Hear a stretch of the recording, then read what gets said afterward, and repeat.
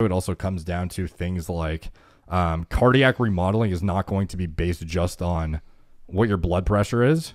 So, if anyone is actually curious about what the actual cardiac remodeling is,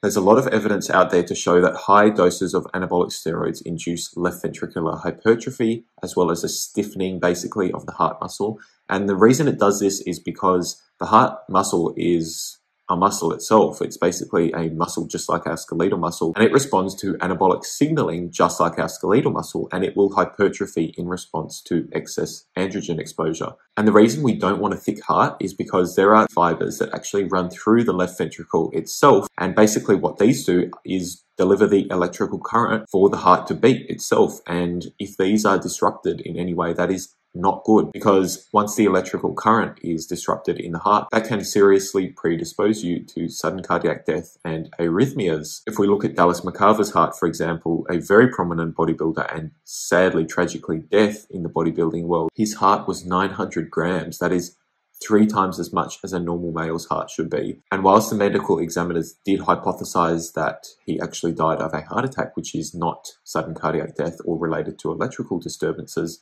um, it's all sort of interrelated. And an ECG that he actually had done when he collapsed earlier that year did show that just before his death, a few months earlier, he did meet the minimum voltage criteria for left ventricular hypertrophy. The other reason for really keeping an eye on left ventricular hypertrophy and cardiac remodeling is that once the heart remodels, it's very hard to actually reverse that, and fibrosis can result, which is a general inability of the heart to be supple and to beat and relax effectively. The heart beats and relaxes and it goes through that cycle, which is called the systole and diastole cycles. And basically, when your heart is very thick and hypertrophied and you may have some fibrosis in there, it becomes just very tough to relax and beat. And that means that your ejection fraction, which is how well your heart is actually beating blood out of your left ventricle, can reduce as a result which means basically your heart is not getting the blood around your body as well as it should be. You would think it's weird, a bigger and stronger heart should pump blood more effectively, but that's not the case. It's actually a bit of a paradox in that a bigger and thicker heart